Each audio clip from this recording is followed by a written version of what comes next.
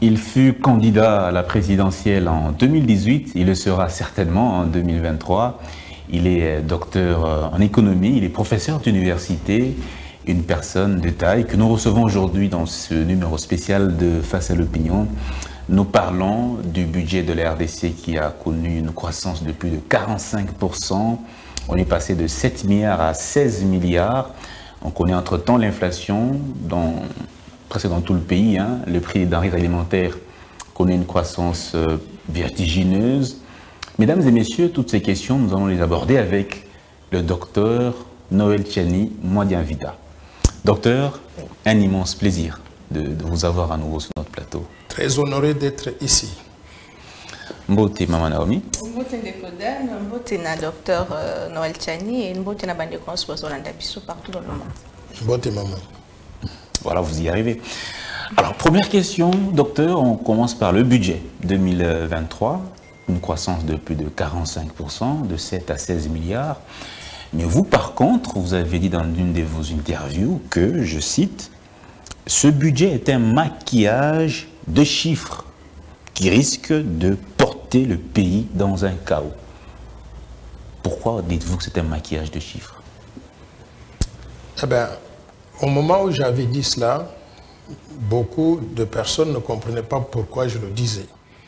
Et comme nous sommes dans un pays où beaucoup de personnes refusent de réfléchir, ils vous taxent immédiatement d'être anti-régime, d'être anti-pouvoir parce que vous dites quelque chose dans laquelle vous croyez, mais qui ne répond pas à leurs attentes.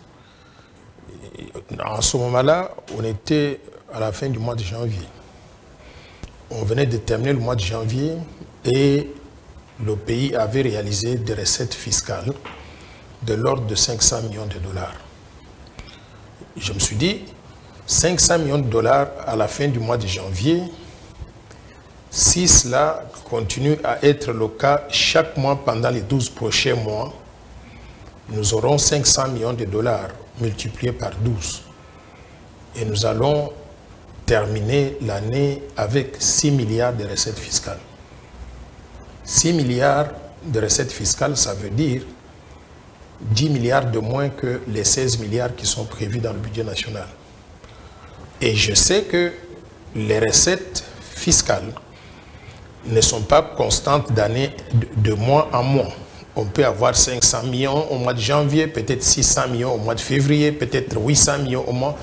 Mais en faisant l'hypothèse que ce qu'on a réalisé à la fin du mois de janvier sera le cas chaque mois, on arrive à 6 milliards de dollars à la fin de l'année.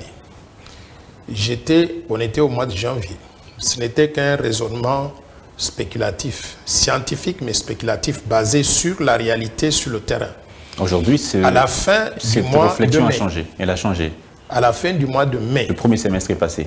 J'arrive. À la fin du mois de mai, on a réalisé des recettes fiscales de l'ordre de recettes budgétaires de l'ordre de 4 milliards de dollars.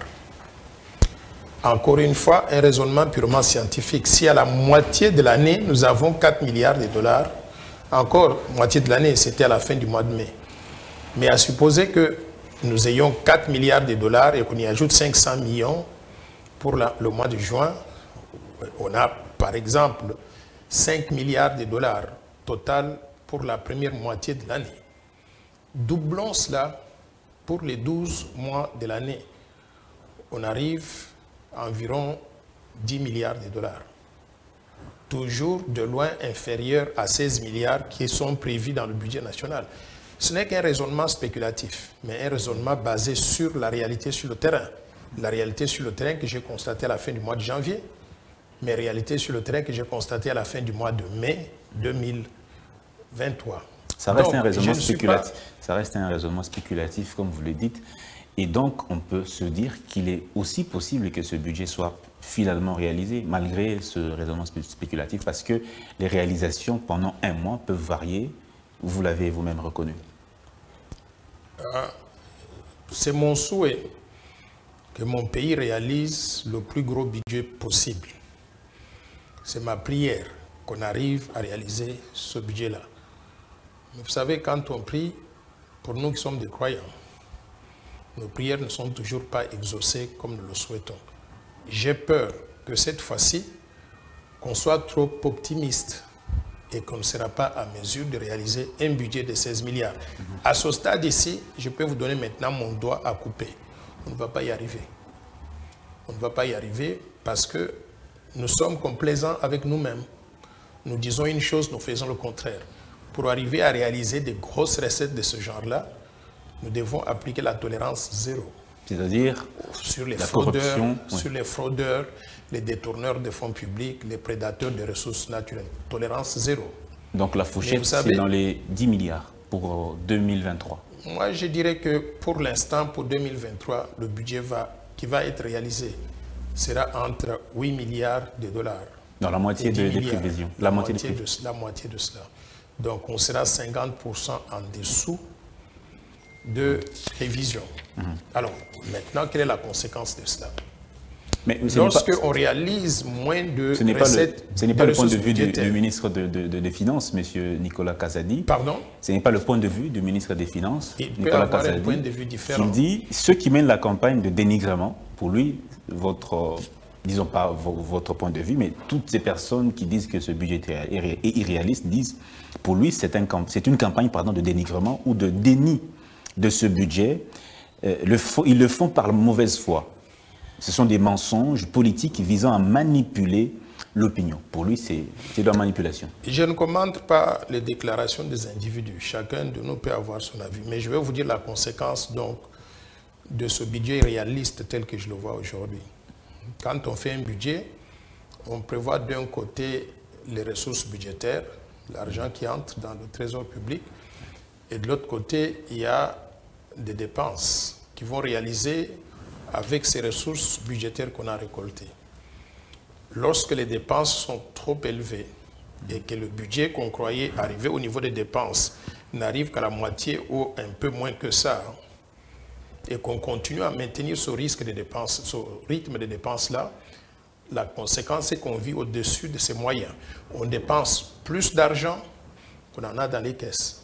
Et quand on dépense plus d'argent qu'on en a dans les caisses, il faut trouver cette différence-là, cet argent excédentaire qu'on a dépensé. Il faut le trouver quelque part. Où est-ce qu'on le trouve en République démocratique du Congo? On le trouve de deux façons. Soit le gouvernement émet ce qu'on appelle des obligations du trésor pour emprunter de l'argent sur le marché financier. Utiliser cet argent pour financer son rythme de dépenses qui était prévu dès le début de l'année dans le cadre donc des prévisions budgétaires. Et quand on fait ça, il faut que le gouvernement soit crédible suffisamment pour que les gens souscrivent à ces obligations du trésor. Le gouvernement congolais a émis des obligations de trésor il n'y a pas longtemps. On a voulu récolter, emprunter sur le marché financier 30 millions de dollars. Puisque la Les personne, 30 millions de dollars, personne n'a souscrit. on a souscrit jusqu'à 14 millions de dollars, moins de la moitié. Ça veut dire que le marché n'a pas répondu présent. Le marché a dit, vous gouvernement, vous n'êtes pas crédible suffisamment pour que je puisse emprunter auprès de vous et espérer être payé dans les délais qui sont les délais de, de l'emprunt. Par conséquent, Oui, par oui. conséquent, ce manque de crédibilité-là, qui s'est traduit par le rejet par le marché financier des obligations du trésor émises par un gouvernement d'un pays souverain. Mais c'est très grave. Et on ne parle même pas ici d'emprunter des milliards. On parle ici d'emprunter 30 millions. Si on n'est pas capable d'emprunter 30 millions, et vous me dites qu'il y a quelqu'un quelque part qui dit que c'est que je, suis- je suis en train de dire, je dénigre le gouvernement, c'est que cet individu-là travaille contre le gouvernement. Maintenant, non, mais laissez-moi finir, laissez-moi sans- finir. sans vous arrêter, il s'il vous plaît, il y a aussi ces- il y a quelque chose d'important qu'il faut que j'ajoute avant que je perde le cours des idées. Parce que le recours au marché financier n'a pas marché. Qu'est-ce qu'on fait dans le cas de la RDC On retourne vers la Banque centrale et on fait pression sur la Banque centrale. On dit à la Banque centrale, allumez la fameuse machine là qu'on appelle Planche la planche à billets. Imprimez-nous de l'argent, on va financer les projets C'est ce du que nous gouvernement. euh, comme, euh, voilà pourquoi la arrive. se déprécie. En faisant cela, on crée trop d'argent dans l'économie, c'est-à-dire des francs congolais, qui ne sont pas soutenus par un matelas de devises. Mais vous souvenez le gouvernement qui dit Maintenant, il y a des maintenant en faisant il y a ça, des en chocs faisant ça, exogènes, laissez-moi d'abord finir mon raisonnement. Laissez-moi d'abord finir mon raisonnement.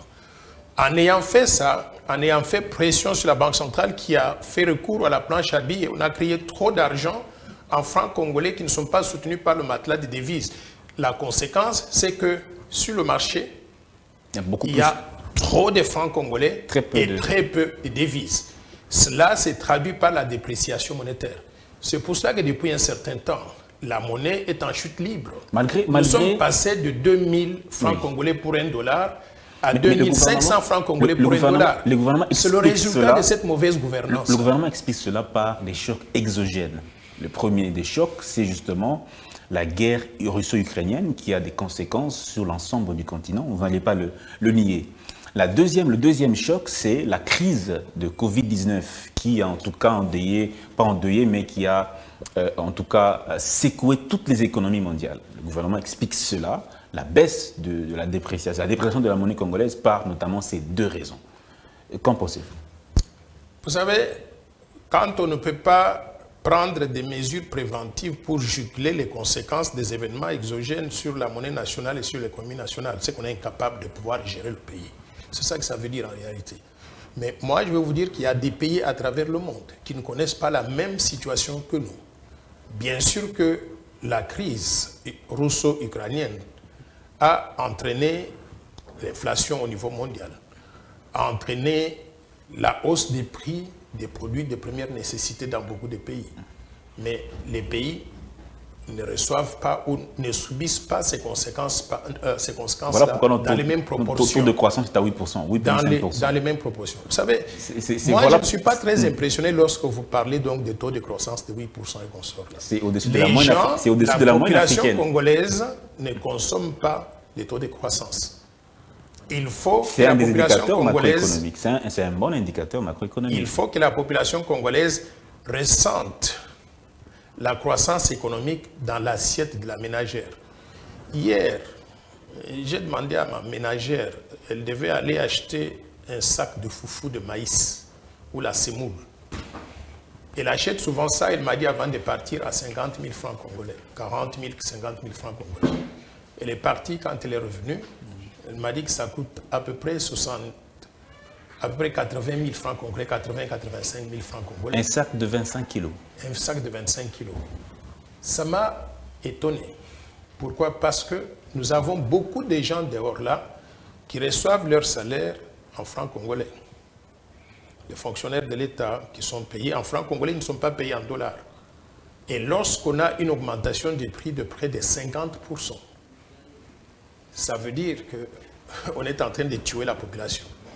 Le pouvoir d'achat s'est érodé complètement en tant que gouvernants, les gouvernants doivent prendre des mesures pour protéger ce pouvoir d'achat de la population. L'une des choses la plus essentielles qu'il faut faire pour préserver le pouvoir d'achat de la population, c'est de s'assurer que la dépréciation monétaire reste dans les limites du raisonnable et que l'inflation soit maintenue dans les limites du raisonnable. Comment est-ce qu'on pouvait garder la dépréciation monétaire dans les limites du raisonnable? Si réellement on dit que nous avons 4,5 milliards de dollars de réserves d'échange, pour arriver à maintenir la dépréciation monétaire dans les limites du raisonnable, il faut injecter les devises étrangères dans l'économie pour qu'il y ait une offre de devises étrangères en quantité suffisante de façon telle que on n'a pas de pression sur sur, la monnaie. En d'autres termes, qu'on puisse rétablir l'équilibre entre l'offre et la demande des devises par rapport à la monnaie locale. On ne peut pas d'un côté donc dire, chanter, crier sur tous les toits que nous avons de- des réserves d'échange qui ont augmenté considérablement et nous ne sommes pas capables de pouvoir intervenir sur le marché en injectant une portion de ces réserves d'échange sur le marché afin de stabiliser le pouvoir d'achat et ça- ça- ah, ça serait- les risques. le- le- Ça serait aussi un mensonge que, le- que nous ayons hein, des réserves je ne parle pas de près de, de près de 5 milliards. Non, je ne parle pas de mensonges. Il ne faut pas mettre dans ma bouche des choses que je n'ai pas dites. Si on dit que nous avons 4 milliards de dollars de réserves d'échange, c'est que nous avons 4 milliards de réserves d'échange. Je ne peux pas mentir. Mais ce que je dis, il faut maintenant qu'on analyse la qualité de ces réserves d'échange. Quelle est la qualité? La qualité de nos réserves d'échange, elle est médiocre. Et je vais vous dire pourquoi. Pourquoi? Elle est médiocre, pourquoi? Parce que ce ne sont pas des réserves d'échange qui proviennent des exportations accrues de la République démocratique du Congo où nous produisons localement, nous vendons à l'étranger, nous gagnons de l'argent et nous ramenons ça pour épargner la Banque centrale. Nos réserves d'échange proviennent essentiellement de l'usage des droits de tirage spéciaux de la RDC auprès du Fonds monétaire international, des aides qui proviennent du Fonds monétaire et de la Banque mondiale, des aides qui proviennent de la Banque africaine de développement, des aides qui proviennent de l'Union européenne et d'autres bailleurs de fonds. Ce que ça veut dire, c'est que nous dépendons beaucoup plus de l'étranger et notre économie ne produit absolument rien. Le jour qu'on veut, en anglais, on appelle ça le jour qu'ils veulent pull the plug, s'ils veulent fermer le robinet, nous sommes étranglés. Mais par conséquent, nos réserves d'échange, nous pouvons applaudir parce que ça donne l'impression que ça a augmenté. Mais nous sommes même incapables de pouvoir les utiliser pour stabiliser la monnaie. Ça veut dire que la qualité n'est pas excellente. Il n'y a pas d'impact de, des réalisations de nos recettes d'énergie financière qui ont, je prends par exemple la DGI pour le mois de mai, 1 milliard 600, 600 millions de dollars américains. Est-ce que cette, cette, comment dire, ces recettes ne peuvent pas avoir un impact, n'auront pas, pas d'impact sur, sur l'économie nationale? Mais bien sûr que lorsque... Mais ça revient à la même chose quand vous parlez de la DGI, de la DGRA, de la, ainsi de suite, là, toutes les régies financières, moi, je voudrais me situer au niveau national, au niveau global. Toutes les réalisations là entrent dans le budget national. Quand on fait la sommation, on trouve les recettes budgétaires. ok?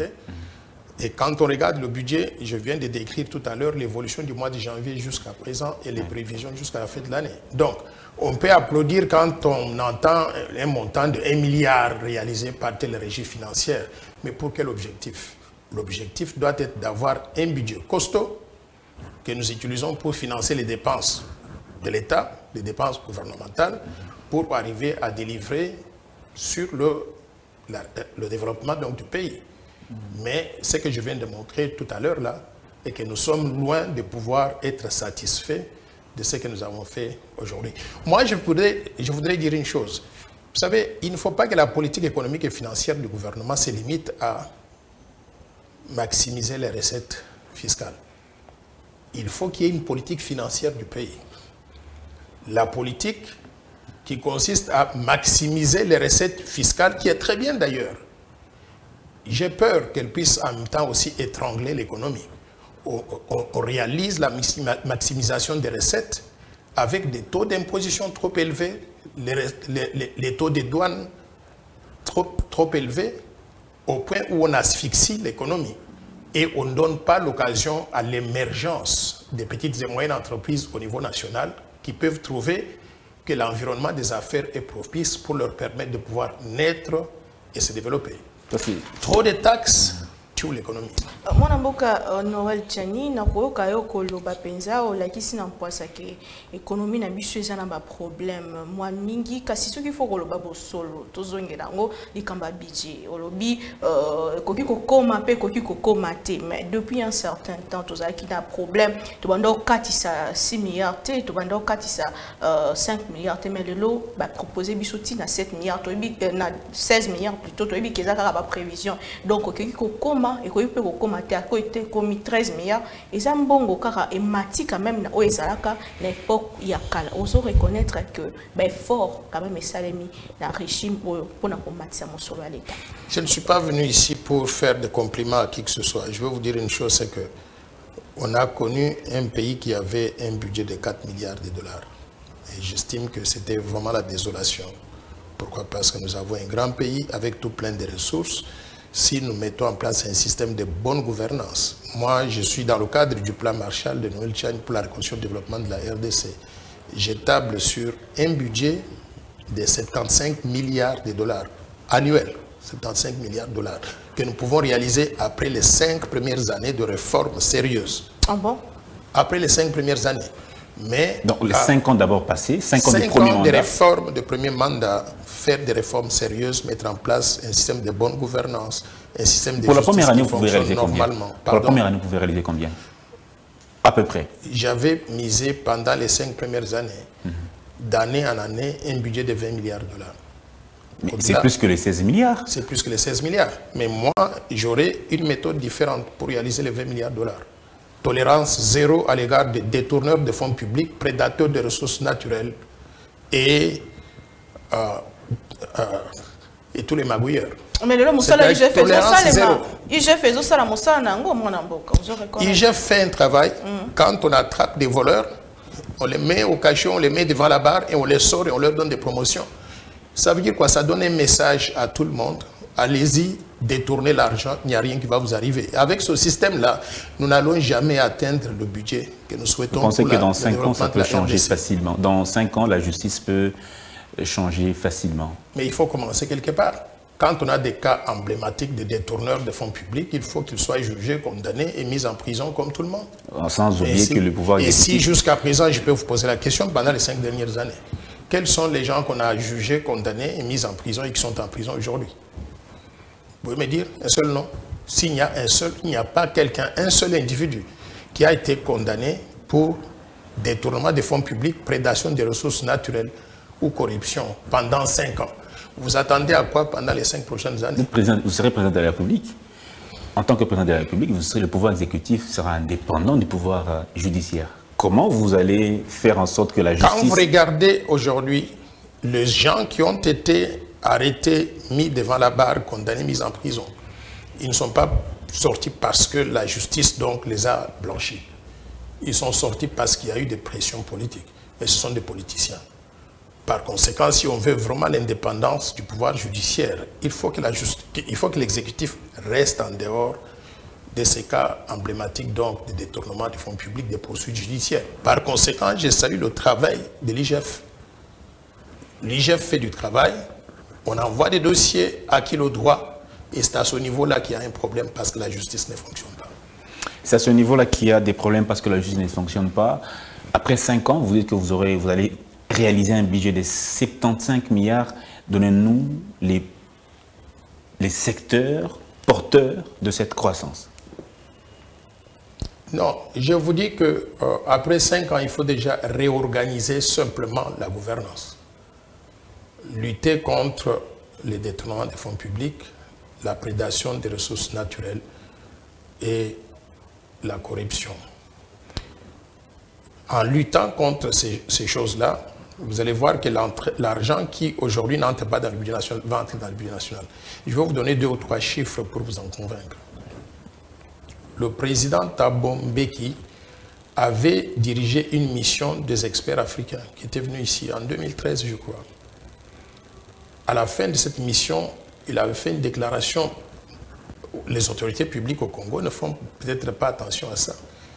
Il avait dit que 85% des revenus des ressources naturelles n'entrent pas dans le budget national. 85% des revenus des ressources naturelles. C'est que ça veut dire que si nous avons le budget que nous avons aujourd'hui de 16 milliards là, il ne représente qu'environ 15% de ce qu'il devait être.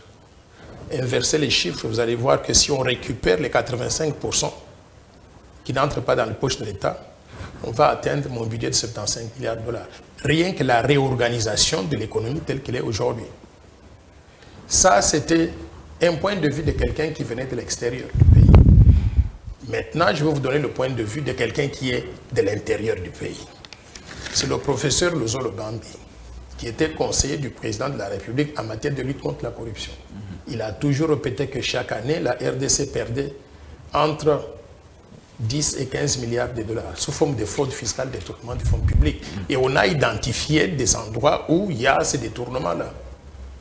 Moi, j'estime que si nous voulons être un pays qui, veut, qui fait des progrès, nous devons nous concentrer sur la réorganisation de la gouvernance interne déjà.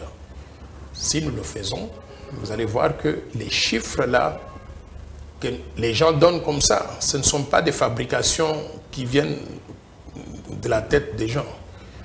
Ce sont des réalités. Il y a, plusieurs recommandations qui ont été faites par l'IGF. Allez prendre les rapports de l'IGF. Quand vous voyez ces rapports de l'IGF, à quoi ça nous sert d'avoir l'IGF qui fait rapport sur rapport? Il n'y a pas que l'IGF, il y a la Cour des comptes, il y a l'inspection générale de la territoriale, il y a l'inspection générale de l'armée, de la police. Tous ces organes de contrôle font des recommandations. Il y a des cas de... Si nous mettons en œuvre ces recommandations-là, Pour vous, le procès, dire, pour vous, le, pro- le procès 100 jours n'a pas été, ne s'est pas déroulé tel qu'il devait se dérouler. Le procès 100 jours, on a vu des condamnations, des gens qui ont été condamnés, ont fait la prison, certains ont purgé leur peine. Pour vous, ça n'a pas été euh, bien fait. en tant que Congolais, vous êtes satisfait de ce qu'on avait réalisé. Qu'est-ce qu'on a réalisé avec ces procès-là? Qu'est-ce que l'État a gagné mais Non, je pose la question. Non. si la première fois, si la première fois qu'on a eu un procès et qui n'a pas donné de résultats, vous vous attendez à quoi la deuxième fois, la troisième fois? Ça devient l'habitude. Et les gens se sont habitués d'ailleurs. Je vous pose la question parce que vous êtes des journalistes distingués.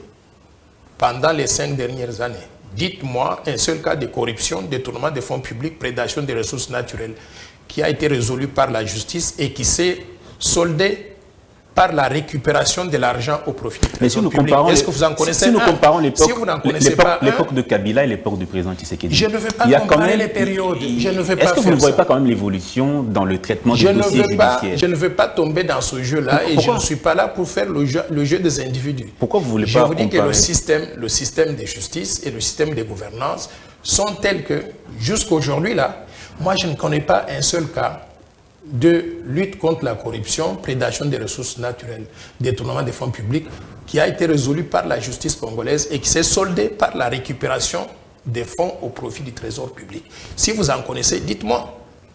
Et basé sur ce que je vois, c'est que si les choses continuent, on ne pourra pas réaliser des résultats différents. C'est tout ce que je dis. Et je ne veux pas personnaliser les choses en disant quand il y avait telle personne ou quand il y a telle personne.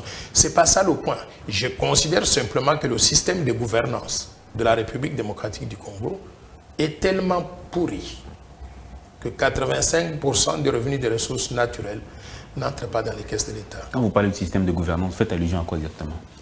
J'ai fait allusion, la gouvernance, c'est quoi? C'est l'ensemble des règles, des méthodes, des procédures qui permettent à un pays souverain de mobiliser les ressources publiques et de les allouer au profit du développement. C'est ça la gouvernance. Maintenant, ce que nous avons aujourd'hui, je fais allusion au fonctionnement du système de justice. Je fais allusion au mécanisme pour la collecte, mobilisation des ressources, des recettes, que ce soit douanière, fiscale, ainsi de suite. Je fais allusion à l'entrée dans les caisses de l'État de l'argent oui, oui. qui appartient à l'État. J'aimerais reprendre. Ce système a pris corps quand C'est quand on a accédé à l'indépendance ou c'est parce qu'il y a eu un régime qui a installé ce système Quand est-ce que ce système a pris corps selon vous? Bon, euh, quand on a accédé à l'indépendance, tout n'était pas rose, mais il y avait un minimum de, de moyens de fonctionnement de l'État et des mécanismes que si on avait continué à les entretenir ou à les perfectionner, on n'allait pas aboutir à la situation actuelle. Il y a d'autres pays africains qui ont traversé le même chemin. Quand vous regardez le Nigeria, le Nigeria est connu comme étant un pays très corrompu. Mais c'est aussi un pays où l'État réalise un budget de près de 581 milliards de dollars par an. L'Angola ici à côté, c'est la même chose. Donc tous les autres pays de la planète vivent la même chose. Mais chez nous, je crois que la mauvaise gouvernance est instituée, est érigée en système. Si bien que les individus passent, les nouveaux arrivent et on continue avec le même système. Donc, quand je Tshisekedi- veux qu'on casse le système. Je ne veux pas qu'on cite des Je individus. veux qu'il n'y ait tolérance zéro Je- je à l'égard donc de la je- corruption. Je, ne veux pas qu'on parle des individus comme vous non plus, vous ne voulez pas qu'on parle d'individus. Est-ce qu'avec l'arrivée du président Tshisekedi, vous sentez que le système, l'ancien système commence à tomber? Je vous ai dit que je ne veux pas parler des individus. Tout à fait. Je vais, je vous répondre qui sont maintenant. les- Je vais vous répondre maintenant de façon plus claire. Je vais vous- je vais je vais répondre maintenant de façon plus claire. Depuis 1960 jusqu'aujourd'hui, le Congo a échoué dans ce domaine-là de la gouvernance. On a échoué parce que, au-delà des individus, les mécanismes de fonctionnement du système restent les mêmes. Puisque vous êtes candidat pas de président de la. République, vous évaluez votre, euh, celui qui est au pouvoir actuellement. Est-ce que vous avez remarqué qu'il a apporté des réformes? Est-ce qu'il a des réformes qu'il a apportées? Nous parlons de sa gouvernance, pas de lui en tant qu'individu. Je vous ai dit que je voulais éviter de parler des individus, mais parce que vous m'amenez sur ce chemin-là, je vais vous retourner la question pour que je puisse comprendre exactement. Quelles sont les réformes qu'il a faites pour changer le système de gouvernance et qui nous permettrait aujourd'hui de penser que les choses sont différentes qu'avant Quelles sont ces réformes-là? Non, ici, malheureusement, c'est nous qui posons les questions. Ah, mais c'est très bien. Oui. Si vous posez des questions, ma réponse est que pour que moi je puisse dire que la gouvernance a changé, je voudrais que ça puisse se traduire dans les chiffres, dans le vécu quotidien de la population. Aujourd'hui, je ne peux pas dire que pendant les cinq dernières années, il y a eu tellement d'amélioration de la situation du budget que cela s'est traduit par l'amélioration du vécu quotidien de la population, notamment par l'augmentation des salaires des individus de façon considérable, des salaires réels, pas des salaires nominaux, mais des salaires réels où on peut dire qu'il y a un pouvoir d'achat. Je voudrais vous amener, par exemple, à parler de quelque chose d'important. Je voudrais vous amener, je voudrais vous amener à parler de quelque chose d'important. Tout le monde parle aujourd'hui du pouvoir d'achat de la population.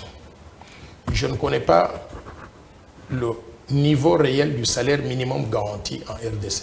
Quelqu'un qui travaille dans la ville de Kinshasa ou qui travaille en RDC, quel est le salaire minimum qu'il est supposé gagner pour être en mesure de vivre correctement, de dire que sa, situation s'est améliorée? Moi, dans le cadre du plan Marshall de Noël Chani pour la reconstruction et le développement de la RDC, j'ai établi ce niveau de salaire minimum là, garanti à 1000 dollars par mois pour toute personne qui travaille au niveau de l'État, au niveau du secteur privé. Ça, c'est après 5 ans, après le premier mandat. Pendant le premier mandat. et ça, ça peut être légiféré. Ça peut être légiféré, c'est-à-dire nous avons une législation du travail. Qu'elle prévoit la législation du travail en ce qui concerne le salaire minimum garanti? Ça peut être légiféré, les policiers, il faut les policiers il faut touchent 100 dollars. Il faut que l'État Et les policiers ne, touchent même pas 100 dollars. Pour le moment, nous sommes un pays importateur, on importe presque tout. J'arrive. Les policiers ne touchent même pas 100 dollars. Ils touchaient 100 dollars au moment où le taux d'échange était de 1 dollar égal à 920 francs congolais. Aujourd'hui, un policier continue à toucher le même salaire ou sinon modifié est, euh, un policier touche donc moins de 200 000 euh, francs congolais. Les 200 000 francs congolais, vous convertissez à dollars, c'est moins de 100 dollars. Avec ça, vous êtes incapable de payer le loyer, le transport, les médicaments, les frais de scolarité pour les enfants, de vous loger correctement et de nourrir, nourrir votre famille. Alors, comment voulez-vous que je puisse dire que nous avons augmenté le budget, nous avons amélioré, donc les choses se sont améliorées? Je regarde le niveau de vie de la population, ce niveau de vie de la population il est pratiquement. Docteur Noël Chani, oza balopoto kitoko makasi. Talinga. Yo pesa balinga makasi.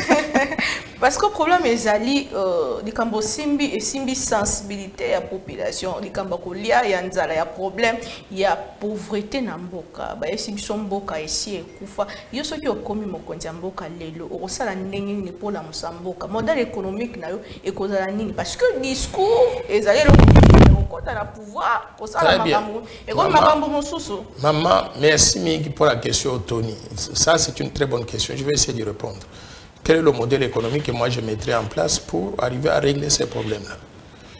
Je vais vous dire que, de prime abord, je ne suis pas venu ici avec une tête vide, sans avoir donc une vision de développement, une stratégie de développement. J'ai une stratégie de développement que vous connaissez par cœur qui s'appelle le plan Marshall de Noël Chan pour la reconstruction et le développement de la RDC. En quoi ça consiste en réalité?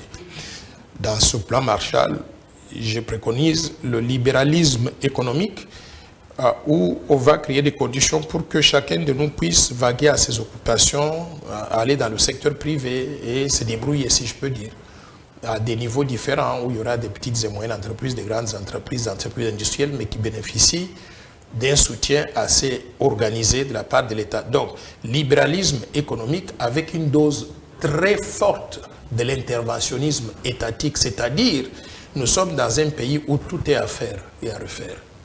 Parce que tout est à faire et à refaire, nous trouvons que toute l'économie du pays se trouve par exemple dans les mains des étrangers. Vous ne venez pas corriger ces injustices-là simplement avec des petites actions à gauche et à droite j'ai une stratégie pour, faire pour basculer l'économie des mains des étrangers dans les mains de tout le monde. c'est pas la première année, c'est pas sans, la première sans nationaliser les étrangers, sans nationaliser les entreprises qui appartiennent aux étrangers. Je voudrais qu'on amène les Congolais dans le siège du conducteur. il y a des mécanismes pour ça, pour arriver à amener les Congolais dans le siège du conducteur. En commençant, par exemple, par... Il faut d'abord la formation. Il faut je voudrais... Certains Congolais la formation, c'est pour ça que je suis professeur à l'université nous sommes en train de former donc des cadres universitaires qui peuvent prendre le dessus. Je donne deux ou trois secteurs, trois secteurs qui sont importants. Le secteur des banques, Mesdames et messieurs, nous n'allons pas réussir avec un secteur de banque se trouvant exclusivement dans les mains des étrangers. On ne va pas réussir. Les banques étrangères n'ont pas d'appétit pour le financement des activités nationales. Elles sont tournées vers le financement du commerce.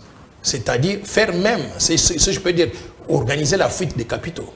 On gagne de l'argent au Congo, on le place dans les pays d'où ces banques-là sont originaires. Nous n'allons pas réussir avec ça. Nous devons casser ce système. Pas casser, détruire ce qui existe, mais le réformer de façon à amener les Congolais dans le siège du conducteur. On a eu deux opportunités de pouvoir amener les Congolais dans le siège du conducteur dans certaines des banques ici localement. La première opportunité était laquelle? La BIAC. La BIAC, on l'a vu, tomber en faillite. Il fallait que l'État intervienne, mais au lieu de dire l'État intervient, on sauve simplement les capitaux des étrangers, il fallait que l'État intervienne et devienne même un État actionnaire, quitte à organiser le désengagement de l'État au profit des Congolais par la suite. Deuxième opportunité, c'est la Afriland Bank. Afriland Bank est tombée en difficulté dans les mêmes conditions. Une banque où les étrangers ont investi 30 millions de dollars. Et quand elle a des difficultés pour, intervenir, pour la sauver, l'État congolais, à travers le ministère des Finances ou la Banque centrale, y injecte 50 millions de dollars. Mais est-ce que nous savons ce que nous faisons? Ce qu'il fallait faire, c'est quoi? En mettant cet argent-là, il fallait renégocier la récomposition du capital pour que l'État devienne actionnaire, aux côtés de ceux qu'on a trouvés qui sont des étrangers. Par exemple, dans la proportion de 60, 40, 60 qui devient l'État, 40 parce que nous, nous avons mis plus d'argent que les actionnaires privés qui étaient là-bas. Maintenant, je ne veux pas que l'État reste actionnaire pour toujours dans une banque privée, qu'on on organise par la suite le désengagement de l'État en vendant les portions de l'État, les actions de l'État aux Congolais, privés ou institutionnels. Il y a plusieurs opportunités comme ça pour changer en quelque sorte la dynamique du secteur financier. Mais Merci pendant- beaucoup. mais- mais- mais nous ratons, pendant- nous mais ratons- pendant ces temps- nous ratons Oui. opportunité après opportunité. Euh, mais pendant ce temps mboka na biso eza nyonso eza priorité ntango yo ozoloba tokosala boye tokozongisa boye kuna na este mpe minduki ezobeta yango mpe ezofragilize économie na biso Maman, eza vous moko m'aviez, baproblème on a commencé à parler de comment faire passer l'économie des mains des étrangers aux mains des Congolais. Et je ne dis pas que c'est la seule priorité que ça. Nous parlons de cela pour maintenant. En ce qui concerne l'Est, je- vous voulez que je vous dise ce que je pense de l'Est? Nous avons commis des erreurs monumentales là-bas. Lesquels Je ne considère pas qu'il fallait entrer dans la communauté des États d'Afrique de l'Est. Je ne considère pas qu'il fallait quoi- faire venir. en quoi je ne considère c'est une erreur monumentale, s'il vous plaît, docteur? C'est une erreur monumentale parce que la communauté des États d'Afrique de l'Est comprend des pays qui sont des pays agresseurs à l'égard de la RDC. Le Rwanda, l'Ouganda, le Burundi, tous ces pays-là, ça fait partie de cette communauté-là. En entrant dans cette communauté, qui prône d'ailleurs des choses très graves, telles que la libre circulation des personnes et des biens. Libre circulation des personnes, ça, prône même la détention d'un passeport régional commun. C'est-à-dire que nous, les Rwandais, les Ougandais, tout ce monde-là, on va avoir le même passeport. Ils vont entrer dans notre pays comme ils veulent. Les mêmes personnes qui viennent ici pour soutenir les rébellions, pour nous déstabiliser. Mesdames et messieurs, je pense qu'il y a un problème dans la vision que nous avons pour notre pays. Moi, je ne pense pas qu'il fallait le faire. Maintenant, la même communauté, on a fait venir l'armée de ces gens-là. Mais cette armée-là, elle arrive au Congo pour combattre qui? Pour combattre leurs frères Tutsis rebelles du M23. Et ce sont les mêmes personnes-là qui viennent du Rwanda, de l'Ouganda, du Burundi, même si l'Ouganda ne fait pas partie de l'armée régionale entrée, il reste la même personne, les mêmes personnes. D'accord. Je crois qu'il y a un problème de vision de, vision. notre côté et ce sont des erreurs qu'on aurait dû éviter. Merci Je beaucoup. continue à penser Oui. qu'on aurait dû, dès le départ, s'appuyer sur la SADC s'il fallait. Mhm. Mais la solution à long terme qu'il nous faut, c'est restructurer l'armée congolaise, la police congolaise, les services de sécurité. Et nous avons eu cinq ans pour le faire. Comment répondez-vous à Pour ce- à cette déclaration du président burundais qui dit Nous nous partirons de la RDC que quand l'armée congolaise sera capable de sécuriser la population Il a dit ça et nous n'avons pas fait attention. C'est très grave. Ça veut dire qu'il nous insulte dans notre propre pays, que nous ne sommes pas capables d'avoir une armée aujourd'hui, demain, après-demain. Donc ils se sont installés. Mais il n'y a pas que le président du Burundi qui a dit ça. Le président Kenya vient de dire la même chose. Quand ils étaient au sommet à Paris, on lui a posé la question sur RFI et il a dit nous n'allons pas quitter la RDC, peut-être pendant les 30 prochaines années. Nous allons rester là-bas. Pourquoi? Parce que l'insécurité à la RDC nous affecte aussi. Nous sommes aussi les pays de l'Est dans cette région-là. Par conséquent, ces armées-là ne sont pas venues pour nous aider, pour que nous puissions donc nous libérer donc de demain après-demain. Ils veulent rester pour toujours. Processus c'est une erreur de vision, une erreur de stratégie Processus je pense est détrimentale à l'existence même de l'État. Processus, processus électoral en RDC, processus en cours. Il y a des partis politiques qui annoncent qu'ils ne vont pas prendre part à ces, à ces scrutins si certains préalables ne se remplissent pas. Vous avez M. Fayoulou, M. Mouzito, le FCC de M. Kabila qui posent des conditions sans lesquelles ils ne prendront pas part à ces scrutins parce que, selon eux, ces scrutins préparent la victoire d'un camp politique, la majorité qui est au pouvoir avec le président Tshisekedi. Quel, est votre point de vue? Parce qu'on ne vous a pas beaucoup suivi vous prononcer sur cette question. Quel est votre point de vue sur le déroulement des élections? Est-ce que la CENI actuelle serait-elle en train de préparer la victoire de, de l'UDPS, de l'UDPS, de l'Union sacrée à la présidentielle et même aux législatives? Mon parti, la force du changement, qui est légalement reconnue aujourd'hui par le ministère de l'Intérieur et qui est habilité à participer à la compétition électorale à tous les niveaux, présidentiel, législatif, national, législatif, provincial. La force du changement entend pouvoir rencontrer le président Denis Kadjima de la CENI dans les jours qui viennent. Nous avons aussi des préoccupations que nous voulons discuter avec lui, des assurances que nous voulons euh, recevoir avant de pouvoir émettre un avis public pour dire oui aux élections ou bien non aux élections. Mais s'il vous plaît, je ne voudrais pas que euh, en parler avant de pouvoir rencontrer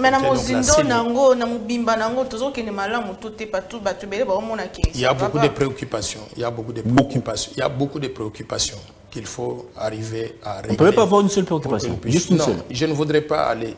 Vous savez, quand vous voulez aller parler avec quelqu'un, moi, je pense qu'il faut lui réserver la primeur de vos idées. Je ne veux pas commencer à aller dans la presse, commencer à dire ça ou ça. Ça va le mettre donc sur une position de ne pas nous entendre ou de ne pas nous écouter. Certains disent Donc, que vous êtes, vous plaît. vous êtes le candidat du pouvoir, mais vous vous présentez sous la casquette de l'opposition. Vous êtes un candidat du pouvoir. Qui oppose Donc le à- à pouvoir ces a deux candidats. Donc le pouvoir a deux candidats. Non, un candidat qui a été préparé par le pouvoir, mais qui ne veut pas être aligné sous le label du surtout pouvoir. mpe Ils sont- position Et oza là- na opposition oza na majorité oza wapi Non, finalement maman, maman, nous avons donné des positions sur des choses très graves. Je viens de critiquer le budget de façon sérieuse ici. Vous connaissez quelqu'un dehors là, parmi les gens de l'opposition qui ont critiqué ce budget comme je, le fais? Donc, il ne faut pas que les gens puissent euh, mettre leur frustration là où il ne fallait pas le faire. Je crois que le pouvoir n'a pas de candidat. Le pouvoir a un président de la République qui s'appelle Félix Antoine Tshisekedi. Et c'est derrière lui que toute son équipe là, qu'on appelle l'Union sacrée, se range. Nous ne sommes même pas membres de l'Union sacrée. Donc il ne faut pas nous mélanger avec des gens euh, qui sont très différents. Voilà pourquoi ils disent que vous vous, êtes, euh, vous préparez pour... Vous, là, vous avez conçu la loi Tchani pour écarter un des candidats potentiels de, euh, de la présidentielle, M. Moïse Katombi. Ils disent, quand vous dites ils disent, les gens, ces gens-là, c'est qui? C'est eux-mêmes de l'opposition. Ok. C'est une très bonne chose de pouvoir Eux-mêmes, des gens de Moïse Katombi. Ah, ben, très bien. Donc, ils sont dans une situation de conflit d'intérêts. Ce pays-là, il faut que les gens soient conscients que nous avons des problèmes sérieux. Quels sont ces problèmes-là? Nous sommes confrontés à l'instabilité de l'État à cause des infiltrations qui ont été organisées, planifiées, exécutées à la perfection par des gens qui ne défendaient pas l'intérêt du Congo. Depuis un certain temps, le Congo est infiltré. Si nous ne sommes pas en mesure de mettre fin à la guerre à l'Est aujourd'hui, c'est parce que l'armée congolaise, la police congolaise, les services de, sécurité incluent des gens à notre intérieur dans ces institutions-là qui ne sont pas 100% loyaux à la République démocratique du Congo. Des gens qui sont des infiltrés, des mercenaires de l'étranger, qui ils portent la casquette des Congolais, mais quand il faut agir, par exemple la guerre contre le Rwanda, j'ai condamné avec la dernière énergie cette guerre-là. Et j'ai dit qu'il faut arrêter Kagame l'amener ici, le juger, le mettre à Makanda. Parmi les candidats de l'opposition, celui que vous venez de mentionner là. Vous l'avez déjà entendu parler, citer le nom de Kagame Il ne peut pas citer le nom de Kagame. Pourquoi? Parce qu'il a une femme tutsi rwandaise burundaise, parce que lui-même, il n'est pas congolais à 100%, il est d'un père grec, italien, israélien, d'une mère C'est impossible. Concevoir M. Et- Moïse Katumbi, président de la République, c'est inconcevable pour un pays comme la RDC. Si vous voulez mettre fin à la souveraineté nationale et vendre le pays aux étrangers, allez-y. Mais moi, je vous dis que ce serait un précédent fâcheux qui va mettre fin à la souveraineté nationale. Alors Parce que Zalaki, récemment, gouverneur, Parce il qu'il y a une femme rwandaise burundaise. Pardon? Parce qu'il y a une femme rwandaise burundaise. Non, je n'ai pas dit ça. J'ai dit qu'il ne peut pas être loyal à la RDC. Il est dans une situation de conflit d'intérêts. Cette situation de conflit d'intérêts euh, surgit du fait que tous ces deux parents ne sont pas congolais. Ou au Tous moins- ces deux. Tous ces deux parents, Ne sont tout pas le monde congolais. le sait. Tout le monde le sait que sa mère est zambienne, son père est grec, italien, israélien. Alors, un sa passeport femme est burundaise. Bon, tout le monde peut avoir le passeport congolais. Vous allez là-bas dehors, là, vous pouvez acheter un passeport congolais. Donc tout le monde peut avoir le passeport congolais. Et nous, nous ne disons pas que s'il est congolais, s'il dit qu'il est congolais, nous disons simplement que ceux qui ne peuvent pas être des pères et des mères congolais se trouveraient dans une situation de conflit d'intérêts. La situation de conflit d'intérêts surgit comment? Si moi, je suis le père congolais et des mères rwandaises et que je deviens président de la République, je ne peux pas prendre des décisions exclusivement dans l'intérêt de la République démocratique du Congo, le pays de ma mère, contre le pays de mon, le pays de mon père, contre le pays de ma mère. Et Moïse Katumbi a été- a été gouverneur par de- exemple, de- de- par exemple, Katanga. par exemple, par exemple, par exemple, vous avez entendu Paul Kagame tout récemment. Il réclame les terres Sud Kivu, Maniema et Nord Kivu. Il dit que ces portions-là appartiennent au Rwanda. Imaginez si nous avons maintenant un président de la République qui a des affinités avec le Rwanda au niveau parental. Ce président de la République, il va trahir la RDC en donnant le Sud Kivu, le Nord Kivu, le Maniema au Rwanda. Et nous, nous allons perdre la souveraineté nationale et l'intégrité territoriale. Nous devons éviter cela. Nous disons que ceux qui ne sont pas des pères et des mères, qui ne peuvent pas être 100% loyaux à la République démocratique du Congo, ceux-là peuvent occuper d'autres fonctions. Ils peuvent occuper des fonctions de ministre des Sports, président des clubs de football, vendeur de poissons. Ils peuvent faire beaucoup de choses dans le pays. Il y a beaucoup de choses dans le secteur privé qu'ils peuvent faire. Ils peuvent être professeurs d'université, médecins et j'en passe. Mais on ne peut pas prendre le risque de prendre le pays, les mettre dans les mains de ces gens-là. Pourquoi? Parce qu'ils sont en situation de conflit d'intérêts. Ce serait leur demander trop que d'abandonner donc le pays de l'autre parent. Le, le cas Obama, le cas Obama n'est pas illustratif. D'un père kényan qui a dirigé l'économie euh, américaine a été florissante à l'époque de M. Barack Obama. Est-ce que ça ne peut pas euh, être un modèle pour nous? Vous savez, quand on fait des lois, il faut que ces lois-là reflètent les réalités nationales. Les États-Unis, c'est un pays d'immigrés. Le Congo n'est pas un pays d'immigrés. Le Congo, c'est un pays des autochtones. Les États-Unis, en tant que pays d'immigrés, reçoivent les gens qui viennent de tous les pays du monde. Et ils se sont dit qui est-ce qu'on va considérer comme étant un vrai Américain capable de défendre les intérêts des États-Unis? Ils ont dit tout celui qui est né sur le sol américain. OK? Obama est né sur le sol américain. Au même titre que Bill Clinton, Ronald Reagan, George Bush ou Joe Biden. Il est américain de père et de mère, d'après cette définition-là. Loyal à, aux États-Unis d'Amérique. Et d'ailleurs, Obama, ce sera un président qui aura fait très peu de choses pour l'Afrique par rapport à d'autres présidents. Donc, on ne fait pas le juger On accuse, pour on ça. accuse la loi de Chani d'être euh, similaire à, cette loi de l'ivoirité qu'on a connue en Côte d'Ivoire qui a euh, fait des troubles euh, post-électoraux. Ça, ce sont des ignorants qui disent ça. La loi Chani n'a rien à voir avec l'ivoirité. Pourquoi? Parce qu'en Côte d'Ivoire, on refusait la nationalité ivoirienne à 7 millions d'Ivoiriens au nord de la Côte d'Ivoire, à la frontière avec le Burkina. On disait, vous, vous n'êtes pas des Ivoiriens, vous êtes des Burkinabés. Par conséquent, vous ne faites pas partie de notre pays. La loi Chani ne refuse la nationalité congolaise à personne. Même pas, Disons- même pas Moïse Katumbi. On ne refuse la nationalité congolaise à personne. S'il a suivi la procédure pour obtenir la nationalité congolaise, s'il est un étranger, il s'est naturalisé congolais, nous l'accepterons. Comme Il président, de, faut, comme, comme président de la République. Non, on l'accepterait comme congolais. Mais il n'est pas éligible pour les fonctions de souveraineté qui sont réservées exclusivement aux Banamboka. Donc- donc- les propriétaires de la terre, les autochtones, ceux qui sont des pères et des mères.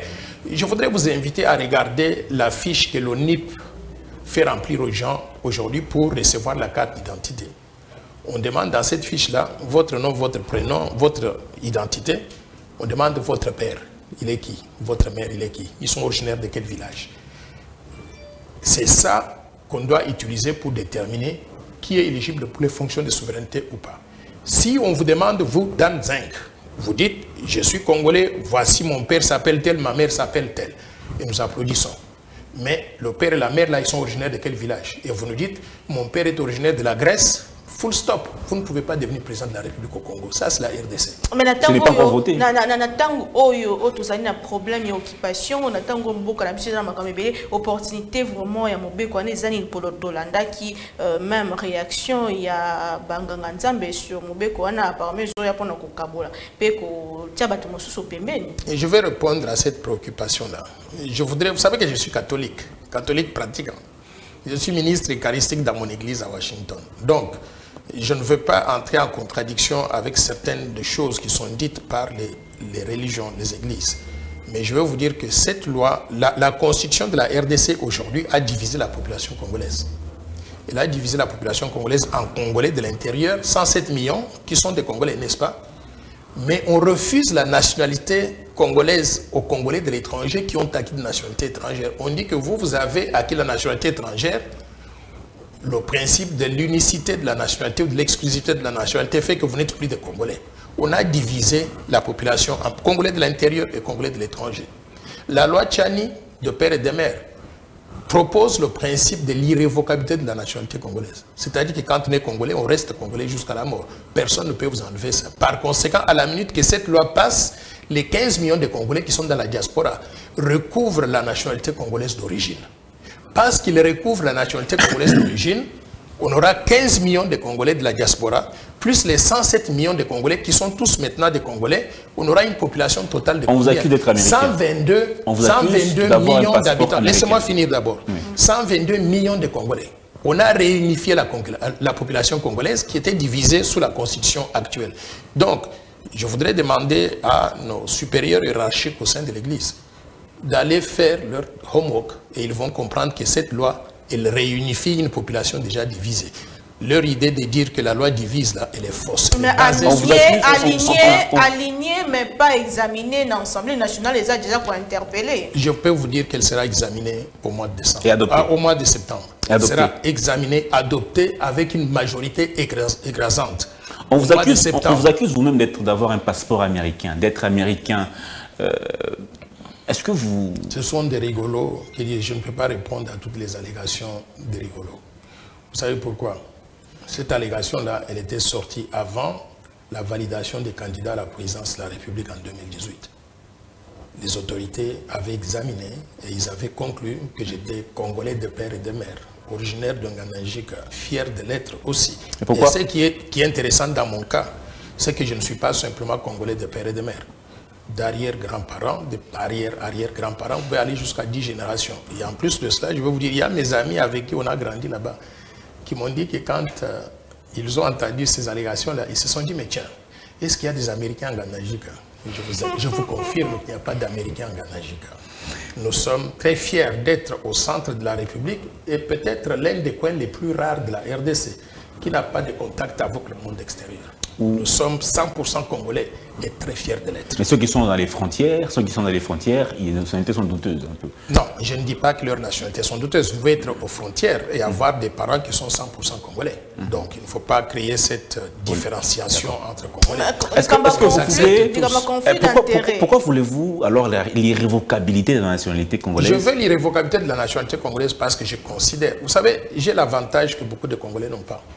J'ai voyagé dans 125 millions, euh, dans 125 pays à travers le monde. 125 pays. Partout où je suis passé, j'ai vu par exemple des Chinois. Ils peuvent vivre aux États-Unis pendant tout le temps qu'ils veulent. Quand ils rentrent chez eux, on les appelle des Chinois. Des Japonais, c'est la même chose. Les Indonésiens, c'est la même chose. Ils peuvent rentrer à tout moment, ils sont toujours originaires de leur pays. Allez en Afrique de l'Ouest, tous les pays d'Afrique de l'Ouest. Les Sénégalais, ils vont à Paris, ils prennent les passeports français pour faire, avoir des facilités à faire certaines choses là-bas.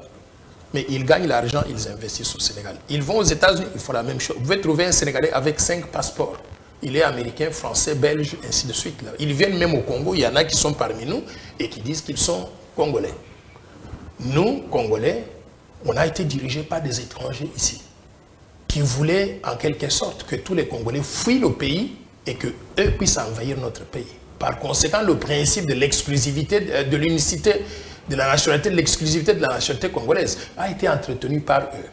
Ça ne fait aucune différence. Dans Zinc, comme vous êtes aujourd'hui, vous partez aux études à Paris.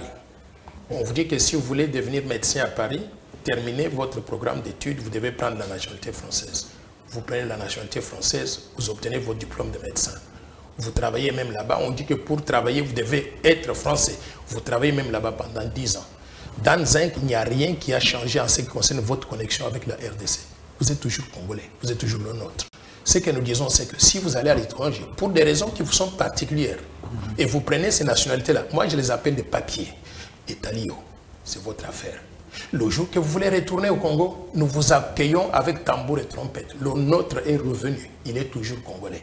De sang, de cœur, de cerveau, tout, il n'y a rien qui a changé. C'est ça que nous prenons avec cette loi. Docteur Noël Tchani, émission comme Nasuka, pour une fois, on a bata lingala, ceux qui pètent chez nous, ceux qui swahili, et ça l'a bien pour le kamba des pères et des mères, pour toi et bapenza, et à solo. Tant a le kamba conflit d'intérêt, conflit d'intérêt, n'est-ce qu'on mesure conflit d'intérêt, moto a coli awa. Mosusu abotami awa asali mosala atongi bato bazoloba. Yo moto oyeli biso de père et de mère otonga nini na congo? Par rapport ya bato oyo ozotangaka wana moto atangi akoli asali makambo ebele na mboka. Lelo alingi akóma président te ye te mpo de père et de mère te. Mais moto moko oti libanda asala eloko te alingi akóma président. Est ce que eza normal? Ma chère moi je veux vous dire que la souveraineté nationale ne se négocie pas L'appartenance à un pays ne se fabrique pas.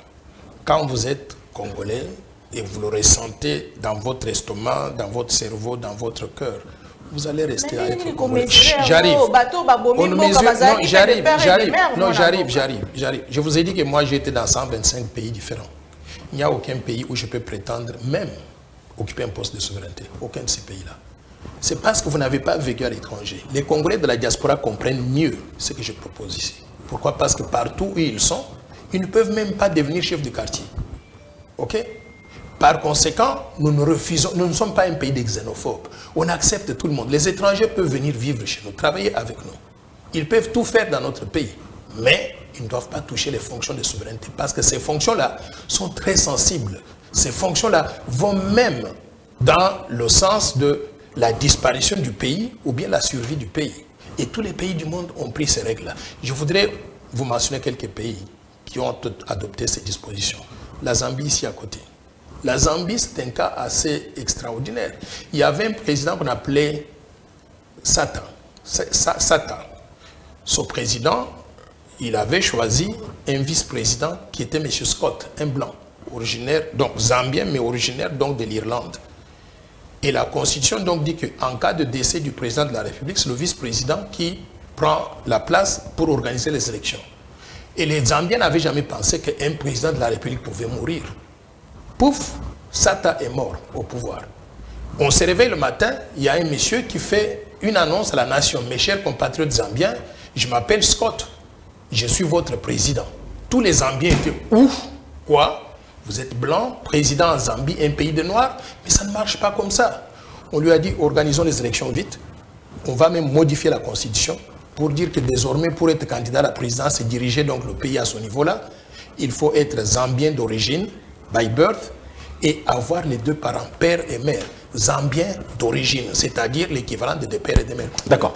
Euh, Par conséquent, il y a plusieurs pays, la Tunisie, mhm. l'Algérie, le Maroc, le, vous appelez comment, la Turquie, tous ces pays-là, ils ont ces mêmes dispositions. Même les États-Unis d'Amérique, il y a des gens qui sont des éminentes personnalités comme les Kissinger, les Arnold Schwarzenegger, qui ont tout fait, qui sont devenus même des secrétaires d'État, mais qui ne peuvent pas devenir président de la République. Parmi les cinq, parce que parmi les cinq on estime qu'ils sont dans une situation de conflit d'intérêts que j'essaie d'éviter à mon propre pays. Parmi les cinq présidents qu'on a connus depuis l'indépendance, est-ce qu'il y a, il y a quelques-uns ou soit l'un d'entre eux qui n'avait pas été congolais? Vous savez, mon travail en réalité n'est pas de vérifier l'identité de maman ici, votre identité pour déterminer si vous êtes congolais ou pas, ou d'aller dans le passé pour voir euh, si Kazavubu, Mobutu, Kabila père, Kabila fils, tu sais que pour vérifier s'ils avaient des connexions parentales avec le monde extérieur ou pas. Parce que vous voulez protéger. Ce n'est pas mon travail. Parce que vous voulez protéger cette souveraineté. je veux, veux qu'il y ait des institutions habilitées à faire ce travail-là. Ces institutions-là, c'est l'ONIP, c'est la CENI, c'est la Cour constitutionnelle. Chacun de nous qui a un problème en ce qui concerne d'où il vient, ses parents et consorts, il faut qu'on soit en mesure d'interroger le système et le système va nous répondre. Donc moi, je ne veux pas entrer dans des cas individuels. Pourquoi? Parce que quand on fait ça, on tombe dans le piège de personnaliser la loi alors qu'elle est supposée être impersonnelle. Parmi les, parmi les raisons qui vous ont poussé à proposer, à initier cette loi, c'est qu'il y a eu des présidents, peut-être des dirigeants qui n'ont pas été congolais de père et de mère. Et c'est parmi les raisons. Je vais vous dire que la loi n'est pas focalisée simplement sur le poste de président de la République. Il y a 250 postes de souveraineté qui sont visés. Président de la République, 250 postes. 250 postes. Président de la République, président du Sénat, de l'Assemblée nationale, les hauts magistrats de la République, les gouverneurs de la Banque centrale du Congo, le président de la CENI, de la Commission électorale nationale indépendante, les hauts commandements militaires de l'armée, le haut commandement du commissariat général de la police, l'ANER, l'Agence nationale des renseignements, la DGM, la Direction générale de migration, les ambassadeurs de la RDC à l'étranger, les gouverneurs de province et leurs adjoints, et j'y ajoute leurs épouses, Oh. les épouses ou les époux. Les- Pourquoi? L'époux d'une personne dans un poste de souveraineté. Elle doit, elle, elle être congolaise de, mère. Nécessairement. Et je vais vous dire- Et je vais vous dire pourquoi. Pourquoi? Pourquoi? Parce que nous voulons éviter la situation de conflit d'intérêts. Imaginez par exemple que vous êtes président de la République et vous avez une femme Tutsi ougandaise. Et nous avons des problèmes avec ces pays-là maintenant. Est-ce que vous pouvez prendre toutes vos décisions en faveur de la RDC sans tenir compte des intérêts du pays de votre femme? Non.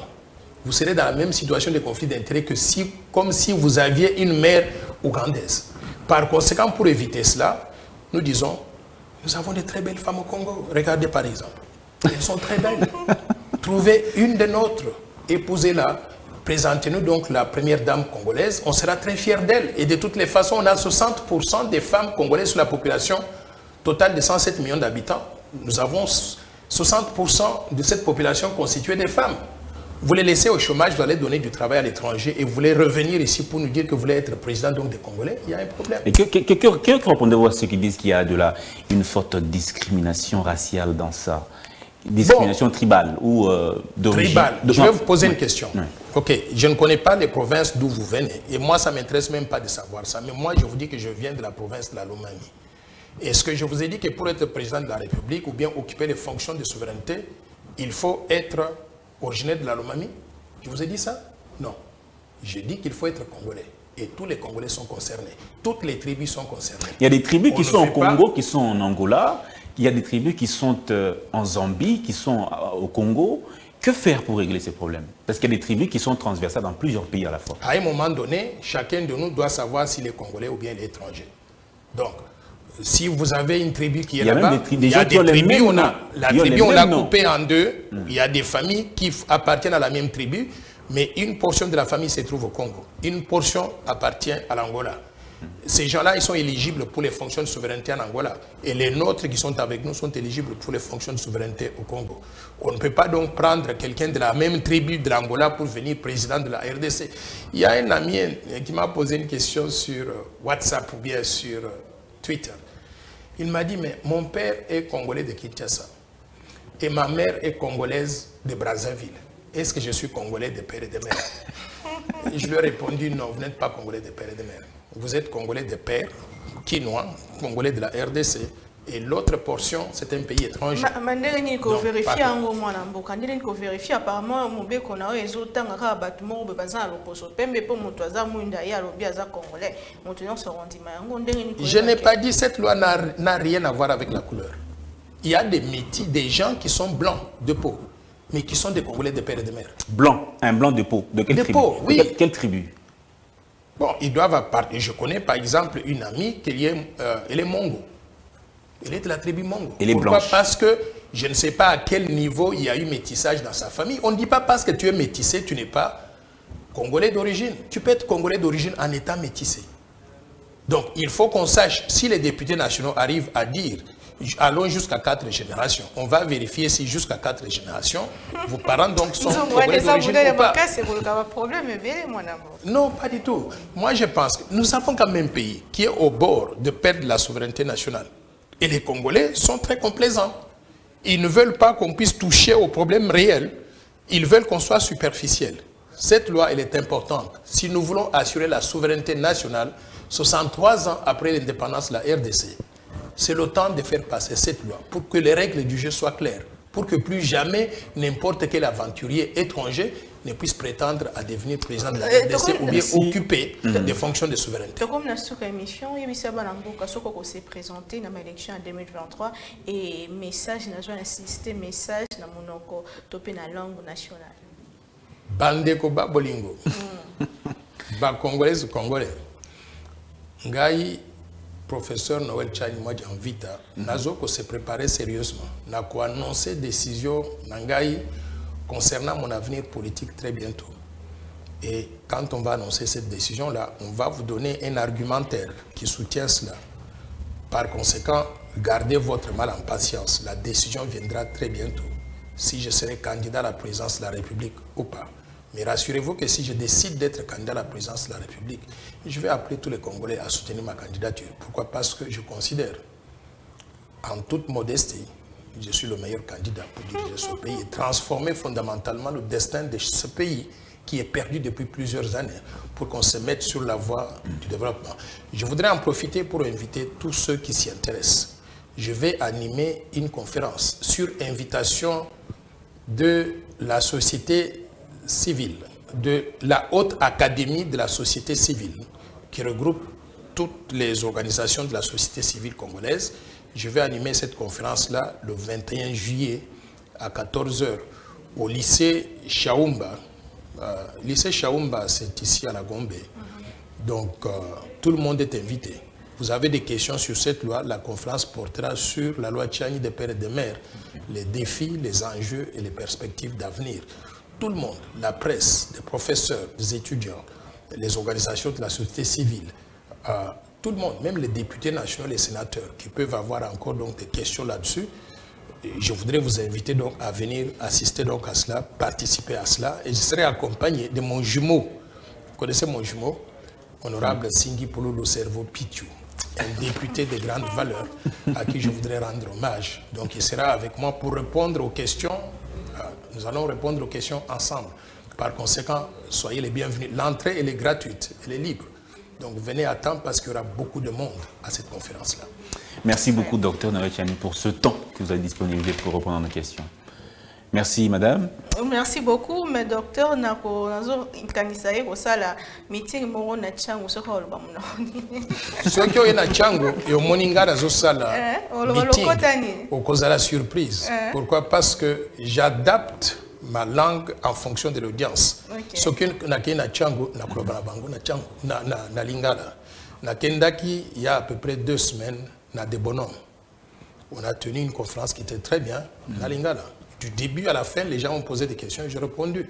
Mais quand je suis devant des intellectuels de grande valeur comme vous je me sens gêné de parler donc à Lingala. Pourquoi? Parce Vous que je sais qu'il y a plus facile pour nous tous de parler français. Mais quand je suis devant les gens qui ne parlent que le Lingala, rassurez-vous, très bien merci beaucoup Merci beaucoup, docteur. Merci, chers téléspectateurs, vous l'avez compris, c'est la fin de, de cette émission. On a abordé plusieurs thématiques, budget, euh, inflation, loi Tchani de père et de mère. Est-ce qu'il sera candidat? Il va l'annoncer peut-être bientôt, peut-être pas. Nous le saurons très bientôt. Mais il a proposé le plan Marshall pour le relèvement de la RDC. Il dit être le meilleur, le meilleur candidat pour donc euh, aider la RDC à sortir du gouffre dans lequel il se trouve actuellement. Euh, Portez-vous bien à la prochaine avec le même plaisir. Nous nous retrouvons encore, une fois ici, sur ce plateau de Congo Buzz Télévision.